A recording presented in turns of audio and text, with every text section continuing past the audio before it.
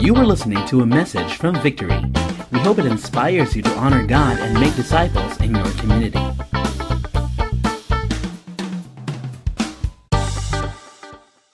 As we continue on this series and end rather this series, okay, I would like to throw some things to you today, okay? Um, sino sa inyo nakarinig ng mga hugot lines? Hmm? Meron akong mga konting hugot dito.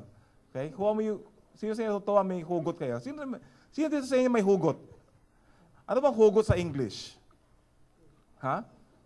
Pick up? Is it pick up lines? No, it's not really pick up lines. Hugot is uh, something that you uh, pull. Okay? You pull over, you know, with force. Okay? Uh, something that you, uh, or we say this in, in, in, uh, in uh, Filipino, we hugutize. Okay? We hugutize as a Filipino English term for hugot. Anyway, um, hugot. Okay? Ready na ba kayo? Okay, ah, bigyan ko tayo. Pero please, you know, I mean, if you like this, you, you shout, okay? If you don't, you, you still shout, okay, in agreement, okay? Okay, you don't have any choice, okay, but to agree. Okay, uh, to our friends, okay, to our friends who, who cannot fully understand uh, uh, Tagalog, okay, please just pretend that you understand. Okay, just pretend that you do. Okay? So it goes like this, okay? Al- alam mo ba ang pinakamapait sa pag-ibig? Ang yung ampalayain ka ng wala lang.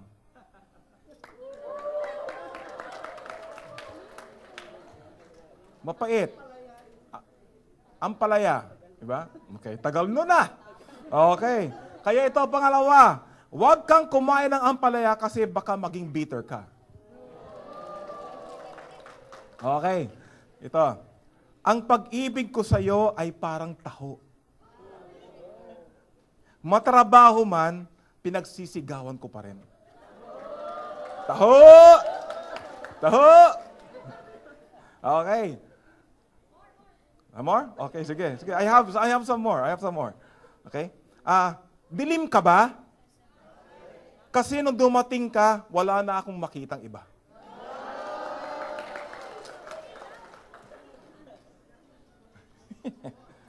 okay? More? Oh, sige, I have some more. Okay? But be sure you you're going to shout louder. Ha? The louder, the, the longer, the more, the louder. Okay? Pabili ng kape. Ha? Pabili ng kape kasi nais kong makapiling ka.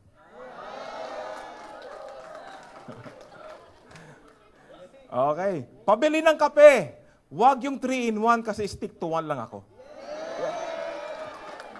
Yun. Okay. When we talk about heart truth, heart truth is having a biblical understanding of real love and a secure marriage in a culture that counters the truth of God's design and plan on relationships and marriage.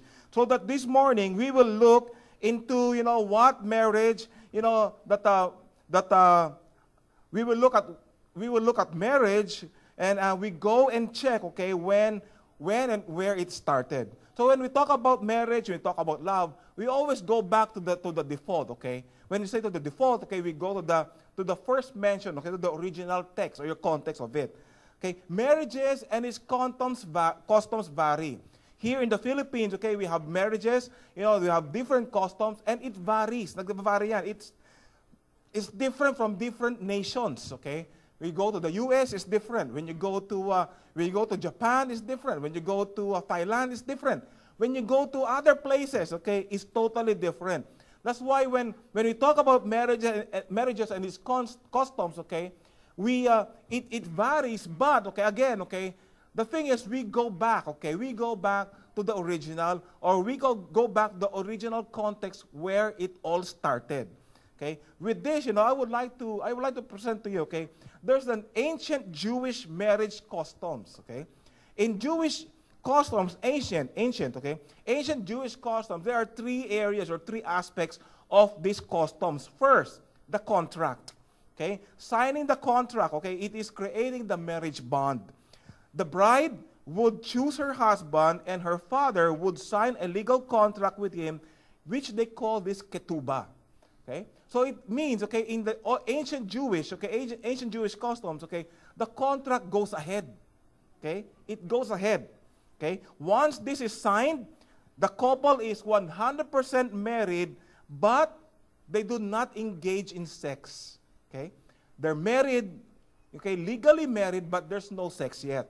Okay? So, i- meaning, um, they have this custom that, that arranged marriage, you know, as probably as, as young as one year old, you know, they're already arranged. So, what happens now, young children were often married or arranged marriage, but do not consummate until the age. Okay? Meaning, they will wait for the age, or for, for example, for the, for the girl, okay, wait for the girl to, to, to arrive, okay, to reach a certain age wherein she's already capable. And how is that? When she begins to menstruate.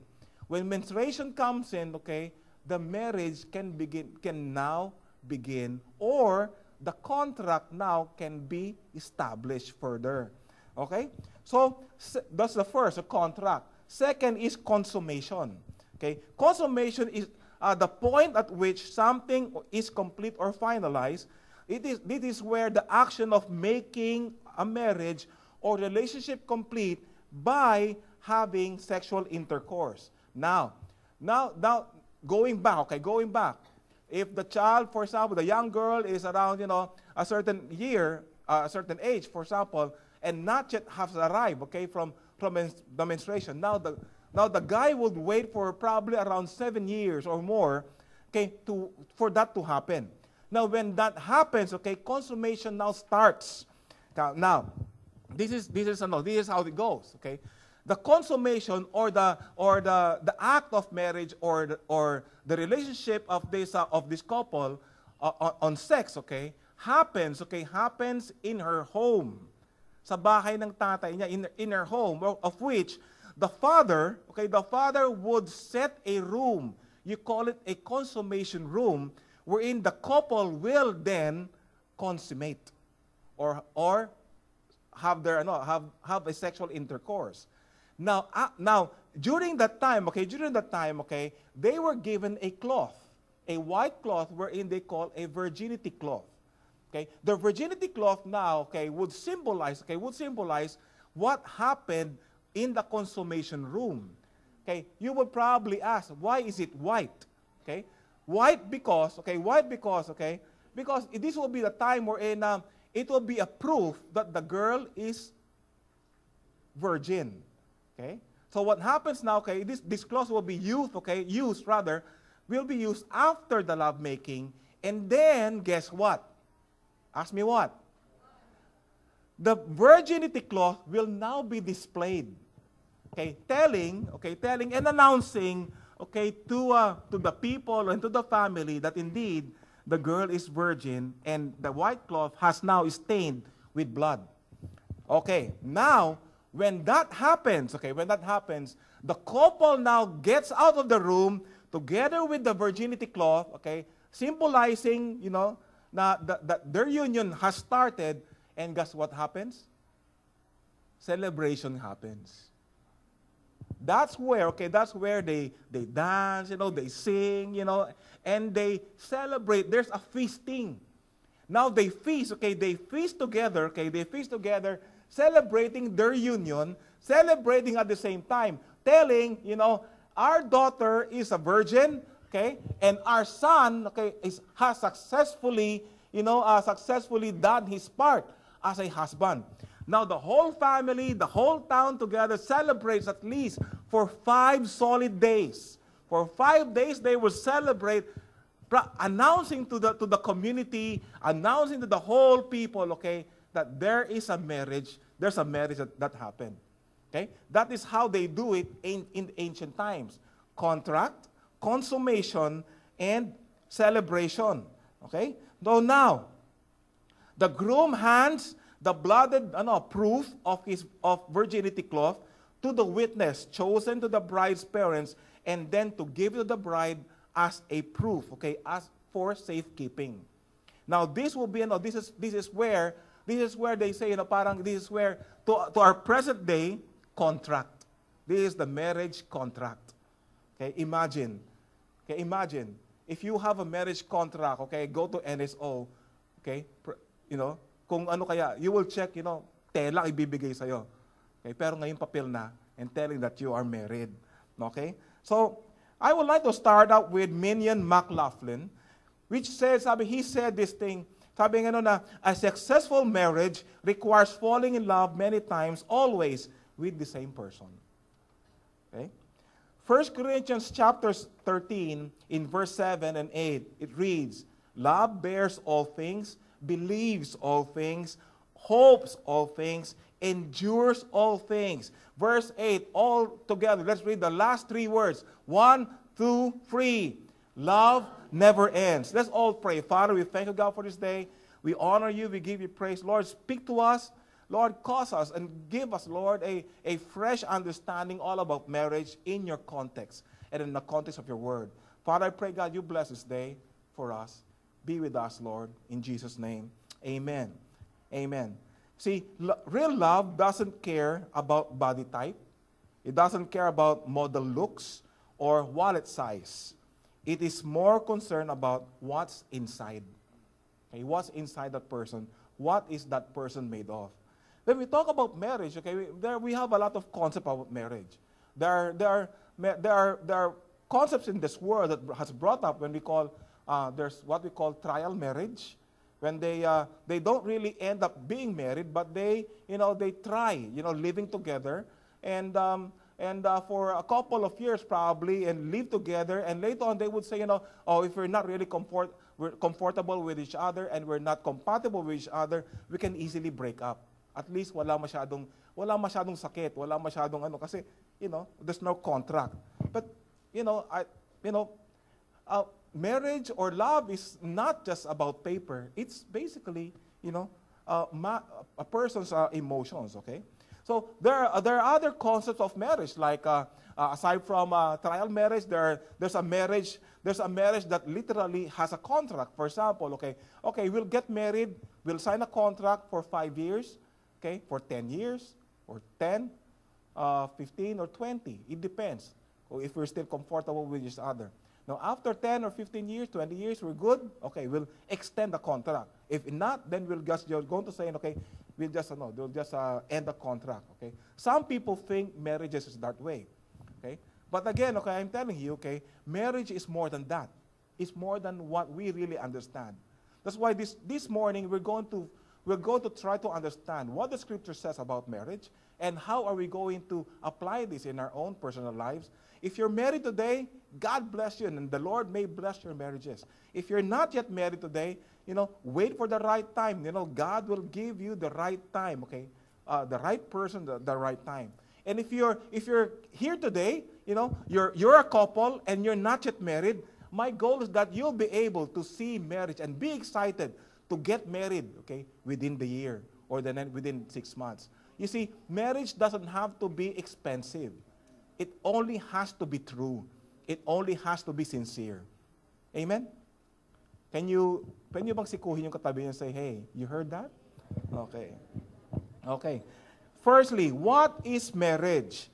What is marriage? 1 Corinthians chapter 13, in verse 7, it reads, Love bears all things. Okay? Note the word there. Love bears all things. B E A R S. Not B A R E S. Okay? Love doesn't bear, okay, like take off your clothes, you know, not bearing all. But sabi nga, but love bears all things. God made marriage for a couple to share their life together. It is two people purposely decided. Everybody say decided. They're purposely decided to be one. Okay? That's why the Bible said the two shall become one. Marriage is first and foremost purpose. We have to define, we have to understand the purpose of marriage. Okay? Okay? If God, okay, if God made marriage, there must be a purpose to it. This is not just something, an accident wherein, you know, God created Adam and Eve and so on and so forth. And also, oh, by the way, by the way, Adam, Eve, I have an idea. Okay? After all these things, you know, so, so on, so forth, you know, uh, this is it. You know, I believe that before God created Adam, God already had an intention. He already has a purpose for marriage. Okay? It wasn't a late purpose, it was a purpose intended even before he created man and woman. I believe this is the very purpose why he, he created Adam and Eve, because he has a purpose for unity and for oneness. Amen. It is designed to enable man and woman to accomplish more together than they could individually. You know, um, we always say this. We have this old saying, two heads are better than one. Agree, disagree. Right? Two heads are better than one. You know, you're more, you're wiser, you're better, you can make uh, good decisions, you know, if you have someone with you. You know, God intended that, designed that, amen. So that, so that if one person can already do good, two can do better and best, amen. That's why, you know, that's why when, when, um, when, uh, when, when married people introduce their, their spouse, they would say, my better half. Meaning, you know, if I introduce my wife, okay, my introduce, my wife, I will introduce her my better half because I'm only good. The only reason why I can be best is because through her, she brings out the best in me. Okay, kaya nga parang taho eh. You know, pinagtatrabahuhan mo, pero pinagsisigawan mo pa rin. Taho! Okay? You know, marriage is God's idea that it's that it intends to establish an institution for families. The reason why God placed marriages, okay, instituted marriage, so that He will have a place for families. Amen? That He would have a place for it. Amen. It is not something, it is not a, a random thinking about, okay, okay, what's the next thing? No. God intended it really for families. The Bible says, you know, the Bible says very clearly in, in the book of Psalms, because He brings the lonely in families. Okay?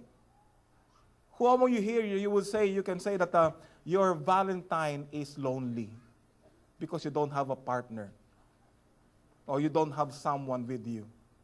Okay? Your Valentine is, uh, is cold. Malamig ang, ang Valentine, hindi lang Pasko. Kasi nag-iisa ka, kawawa ka naman. You know? Kaya hindi na ako nagse-celebrate ng Valentine's. What is Valentine's for? I don't have a partner. Okay? See, Valentine's is not about having a partner. Valentine's is basically knowing. Okay? Knowing that you are not alone. You may be alone, yes, but you're not you don't have to be lonely. Are you here with me? You can always find, okay? You can always find this thing. Hindi naman kailangan nasa relasyon ka para para masaya ka. You you can be you can be happy, okay? With inspiration in itself. Hello. You see, when, that's why when we talk about these things, when we talk about love and marriages, you know, we all first have to understand and, and understand the purpose. Okay? Marriage is not about one person, it is about two people decided to live as one, fulfilling God's purpose. I would like to quote John Maxwell. He said, A difficult time can be readily endured if we retain the conviction that our existence holds a purpose, a cause to pursue, a person to love, a goal to achieve. You know, when, when, when you're married, when you're married, you know, you have, you have a cause. You have a cause to pursue. When I married my wife, okay, when I married my wife, okay, I continuously pursued her. Hindi dahil sa hindi dahil sa nung sinagot niya na ako tapos na no, I continuously pursued her. Continuously courting her. And and and and and and and I have to be somehow creative on, on building that. Amen. It was God's idea in giving Adam a, com- a companion. Adam did not ask for a companion. It was God who saw the need for a companion. Amen. Hello, single people. If you're single here, okay, God knows.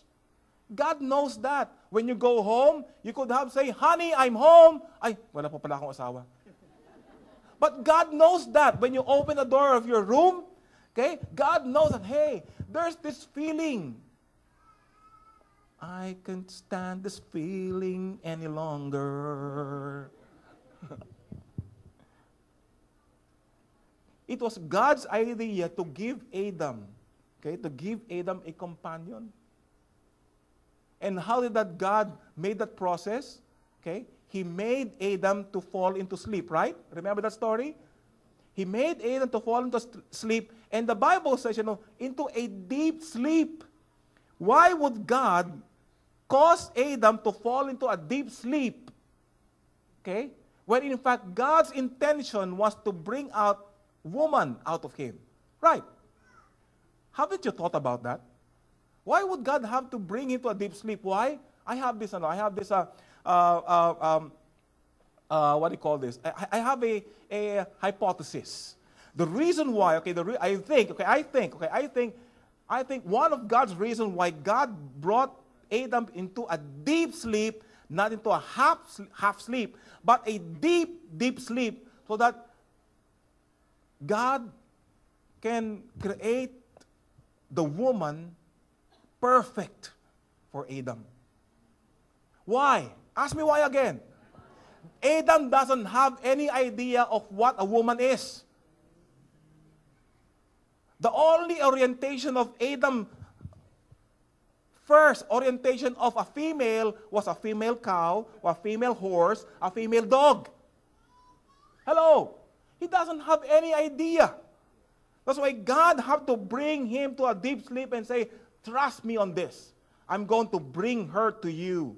And guess what happened? On that day, when Adam woke up and saw this woman lying beside him, he said, Whoa, man, beautiful. That's why he said, Now I call you woman. Because, whoa, man, she's beautiful. Okay? He saw that Adam would be more productive if someone is with him. He saw that. That's why the Bible knows, God knows this. God gave Adam a suitable helper, a helper, helper, a helpful partner. He saw that. That's why when, when, when Adam saw Eve, you know, all of a sudden, he sang this song God gave me you. God gave me you show me what's real. There's more to life than just how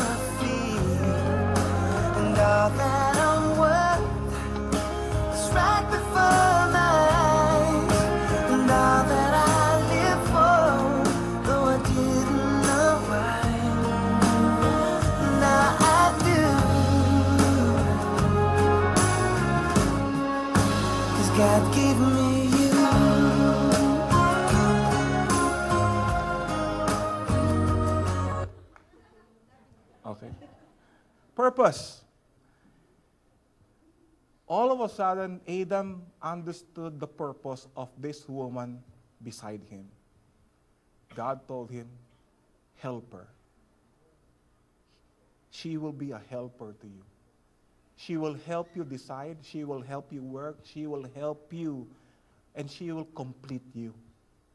That's the very purpose of marriage. Amen.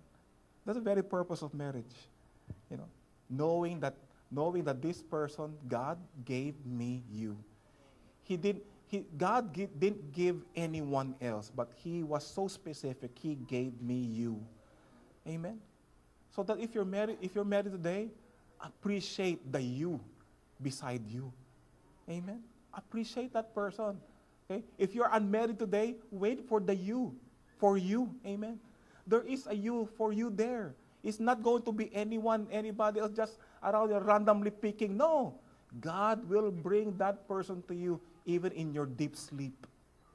Even when you're not looking for it, God will bring you your you. Di? Hello. Do you agree? Parang you're not agreeing with me. okay, don't sleep on me, okay? Don't sleep on me. Okay? Secondly, 1 Corinthians 13, verse 7.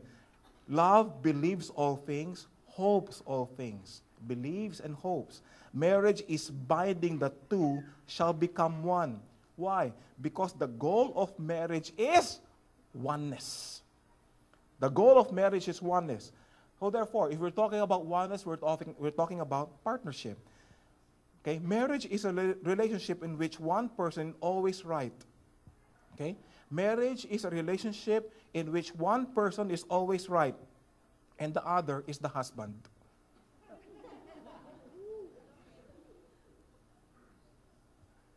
Did you get that? Marriage is a relationship in which one person is right and the other person is the husband. Parang ganito yan eh. It's partnership. Therefore, we have to understand this thing. When we talk about partnership, one key ingredient for partnership is what we call trust. Right? Trust. So, paano, aanhin pa ang tiwala ko ang bawat hinala ay tumatama.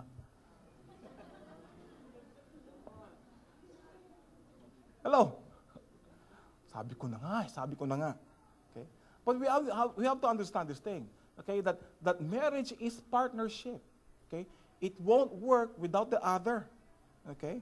Friedrich Nietzsche, Nietzsche okay? I'm having difficulties saying, but I I like what he said.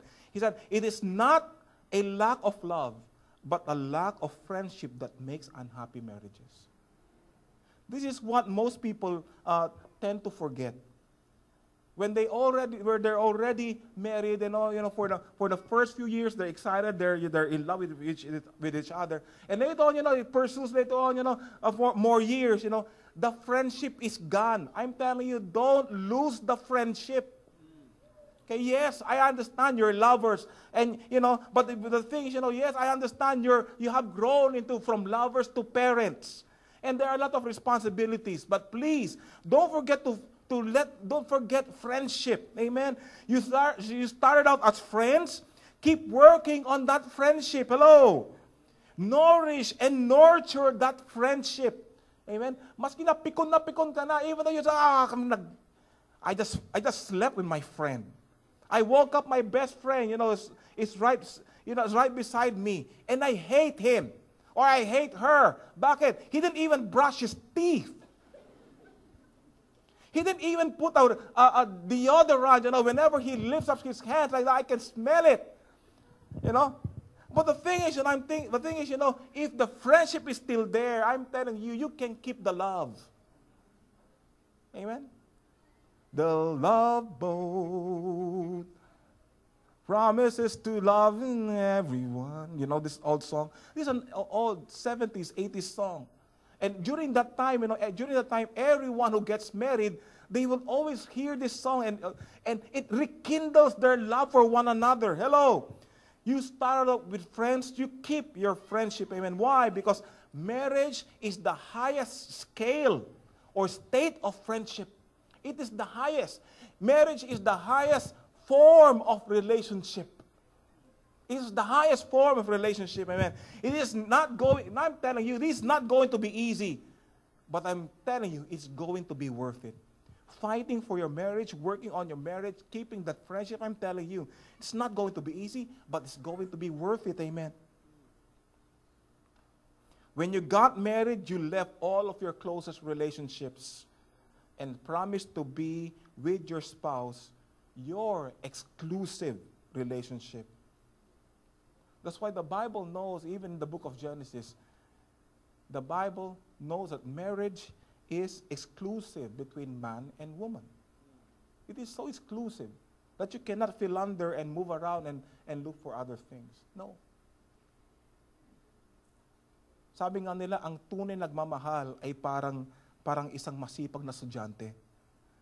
Maski na nahihirapan na siya sa exam, hindi pa rin siya lumilingon sa iba.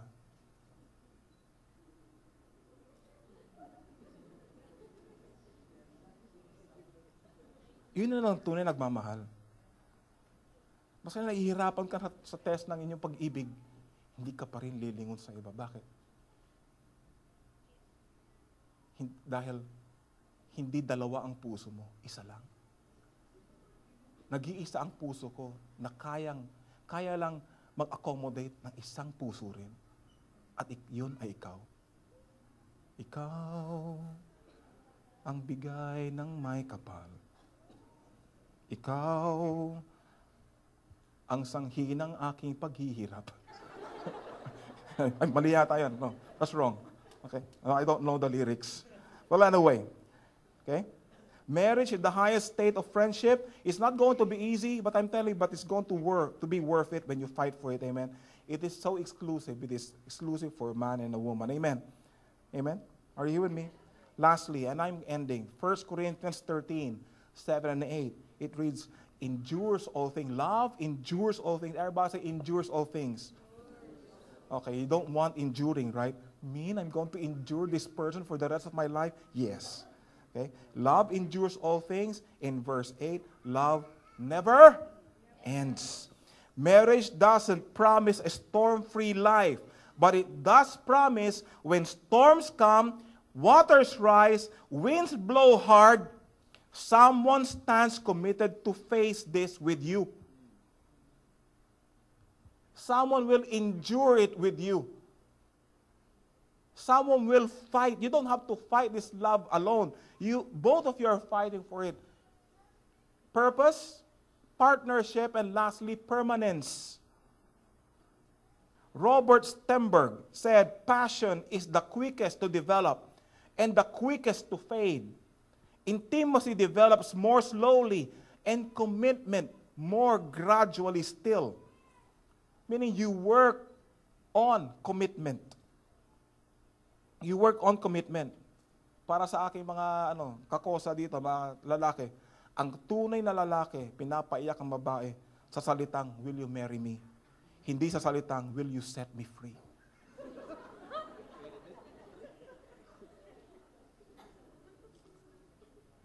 Hello? Ano ba yung, ano ba yung kantang yan? Yung ano, Set Me Free? Huh? It's an old, it's an old song. Anyway, I don't remember it. It's too, it's too old. Okay. Matthew 19, verse 4. He answered, Have you not read that he who created them from the beginning made them male and female, and said, Therefore, a man shall leave his father and mother. Hello? Hello? A man will leave his father and mother and hold fast. Everybody say, hold fast. Meaning, hold fast. Say, hold fast. Okay? Meaning, you're going to hold, grip, have a grip. Okay? And the two shall become one flesh. So they are no longer two, but one flesh. What therefore God has joined together, let no man separate. What God has joined together, let no man separate. Of course, there will be some reasons, and some are valid. That's why, why, why marriages, you know, are, are, are, not kept together. Okay? And we don't condemn them. You know, they, they, they have all, their own reasons. But the real intention of God for marriages is permanence. Why? Because falling in love is easy. Staying, staying in love requires work. But I'm telling you, there will be attempts to discredit your marriage. But, it, but, but if your marriage is founded on the one who initiated it, what can man do to destroy it? Or what can circumstances do to discredit it?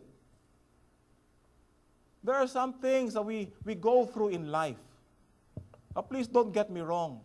There are, there are some things really that go through in life, and there are some couples, yes, who, who cannot really find themselves, you know, living together for, for, for the long haul. And there, pro- there, there, there are reasons and valid reasons why. But the real intention, okay, but the real intention of God for marriages is, is permanence. The sacredness of marriage is based on a covenant. It is a sacred, whole, sacred, holy, and an exclusive commitment. You see, church, marriage is like fitness. You can cheat on it and expect to work. Marriage is like fitness. You know, you, for example, you, know, you want to grow your biceps, but you're not going to the gym. You know, you want to, you want to have a six-pack abs, and you're not do, doing any sit-ups. Okay? Sometimes the- six-pack abs is, is so, so difficult. It's so difficult to manage. That's why, you know, that's why some people decided to have a one-pack ab, just like me. Isang pack na lang, mas dali na lang yun.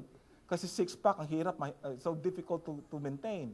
And at the same time, if I maintain a, a six-pack abs, you know, I'll, you know, I mean, man, I'm, I'm trying to, I'm trying to shy away from, from temptations. You know? I don't want to be a model of fit, uh, you know, all these uh, fit things and fit right, you know, something, mga drinks na yun. No, sabi ko, I'm living a low-profile life. You know? Pero is, is, i- pero sabi ko later on, you know, I, one time, you know, I had a dream. You know, I had a dream. Na sabi ko, parang one time I woke up and I have six-pack abs. You know? Sabi ko, God, you know, this is a miracle. This is such a miracle.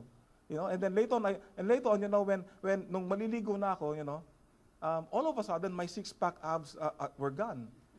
I realized it was just a shirt. See, marriage is fitness. It's like fitness. You can cheat on it and expect to work. We have to work on it. Okay? When marriages are, are in are in are in a, uh, in a challenge, you know, it doesn't mean it's already failed. No.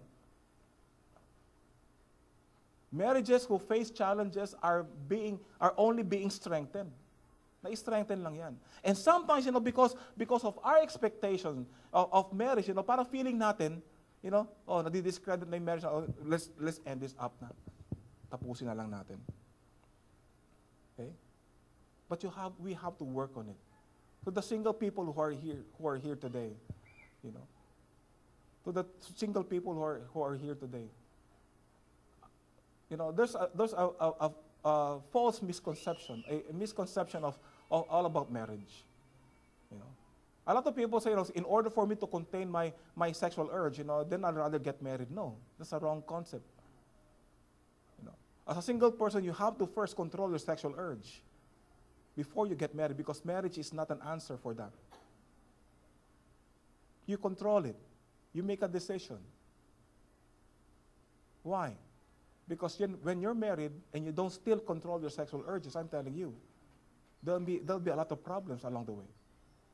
But you have to, as a single person now, control it, you know, and ask God's grace, you know, to control it. Amen. Are you here with me? You see, church, you know, listen to this. Maraming babae at hindi perpekto, okay? Pero hindi sila dapat niloloko. You don't fool, you don't fool around, you know, with ladies. You respect them. You love them.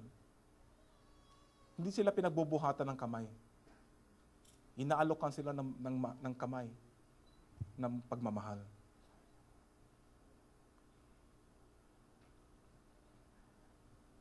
The Bible says, you know, love bears all things, believes all things, hopes all things, endures all things.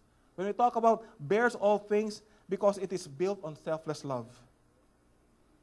Bear, believes all things because it is built on trust. Hopes all things because it is built on a promise. Endures all things because it is built on commitment. And lastly, he says, love never ends. Love never ends. Real love stories never have endings. They don't have any endings. When we see, you know, when we see, when we see couples, they get married, you know, they invest so much on weddings, and later on, you know, makita na lang something, something went wrong, you know, they easily give up. But I'm telling you, real love stories never have endings. They don't have. But you know what? With the people out here, you know, the photos that you see, these people are so in love. I like the story of June Rose, Chris, Karen, Third and Kate, Jose and Mavic, Carlo and Ruby, Dong and Pressy, Fidel and Heather, and a lot more. I like the stories. I like their love stories. But you know what? Every love story is beautiful, but ours is my favorite. Ours is my favorite. It's different. And every time you look back, you would just realize, you know, how God brought us together, you know, in sickness and in health, richer or poorer, better or worse, till death do us part. That's why love never ends. If you're here today, you're married, I encourage you to work that marriage. Work on it. Keep it. It's not going to be a good highway. There are bumpy roads along the way. Yes, there will be, and there will be a lots of it. It will be. It will be difficult. Yes, it is difficult. It is. It will be a testing. It will be testing. In fact, you know, every time, every morning, every morning you will be waking up with the person who, who tests you the most. But it doesn't mean, it doesn't mean that your marriages will be failing or are failing. No. They're just only being strengthened. They're only being strengthened. If you're here today, you're you're looking forward to be married. You're you're a single person, and one day, you know, you know, by God's grace, you'll meet this person, or probably you already have this person with you, and you're already planning for marriage. I'm telling you, you wait for it, amen. You wait for it. You wait for the right time. And if you're here today, your marriages are being tested. There are challenges along the way. There are challenges along the way. And it's difficult. It's difficult. I'm pleading, please don't give up on your marriage. Don't give up. Don't give up. Keep working on it. Keep praying on it. Keep trusting God for it. It is never an accident why you were brought together. Never was. And it will never will be. Amen. I would like to end with this. Let's out with this ancient Jewish marriage custom. And they have a contract, they have consummation, and they have celebration. It started out with a contract for us. God's covenant of love. He sent His Son for our redemption. That was His contract. The consummation was when we when when the Lord found us and we placed and put our faith in Christ for our salvation, and we being one in Christ. And the last, when we celebrate, we await His coming. Jesus comes back for His bride. Contract, consummation, celebration. The Bible says in Revelation chapter 19, verse 7 let us be glad and rejoice, and let us give honor to him, for the time has come for the wedding feast of the Lamb, and his bride has prepared herself. And that is celebration. Church, listen to this. The concept, okay, the concept of marriage is basically founded on contract, consummation, and celebration. It is basically how God would lay out the condition of the church. That's why whenever Israel in the Old Testament would, would backslide and forget about God, God would always use this word against Israel and said, You have adulterated yourself you have left your first love. And therefore, marriages is a shadow of God's plan. It is both for us. We are privileged. We are privileged to see God in the middle of our marriages. Shall we all stand on our feet, please?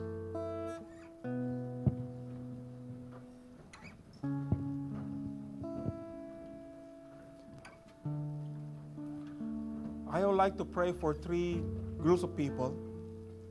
First, I would like to pray for the singles. If you're here today, you're a single person, it is my prayer that you wait and keep and make yourselves, keep yourselves pure before marriage. I'd like to pray for you. Father, I pray, God, for the single people who are here today. Oh, Lord, I ask that you give them, Lord, the patience to wait, not to be hasty. You keep them away from any forms of impurity. I pray, God, that you would, Lord, that you would speak to them, assure them God, that indeed you have prepared someone, reserved someone for them, and it will come in your time. I pray, Father God, for the second group people who are who are married and who are facing a challenge. I pray, God, that you would assure them, Lord, that you are you have not left them nor forgotten them. But Lord, I pray that all the more, God, that you would assure them, Lord, that you are the author, you're the finisher, and you are the ones going to heal these relationships. We pray, oh God, we pray that you would manifest, Lord, yourself in the midst of misunderstandings and or miscommunications or or hatred or or which cause bitterness, Lord, about along the relationship. I pray, God, that you be the one, Lord. Be the one, Father God, to bring healing, Lord, into these marriages.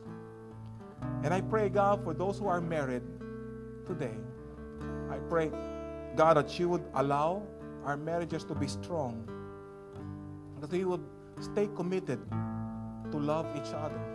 Use our marriages, God, to be an example not only for our children, but also to the young people around us who looks up to us and emulates our relationship with one another. And I pray, God, lastly, I pray, Father, for each one of us, Lord, in this room.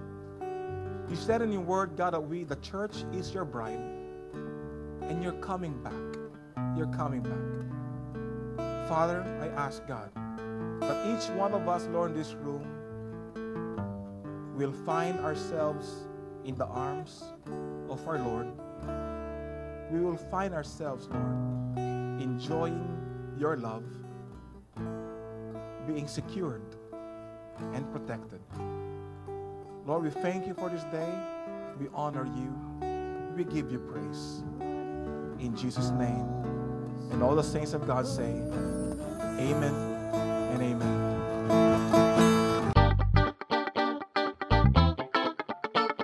Thank you for listening to this message. For more messages like these from other Victory Centers, please visit victory.org.ph slash resources slash podcast.